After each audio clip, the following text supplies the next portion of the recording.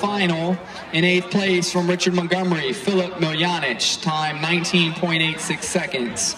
In seventh place from Northwest High School with a time of 19.69 seconds, Cameron Garland. In sixth place with a time of 19.04 seconds from Paint Branch High School, Glenn Jones. In fifth place with a time of 18.70 seconds from Winston Churchill High School, Augusto Iglesias. In fourth place from Wheaton High School with a time of 18.18 seconds, Nadir Sharif. In third place from Richard Montgomery High School with a time of 17.98 seconds, Jeremy Lyons. In second place from Richard Montgomery with a time of 17.45 seconds, Simon Liu.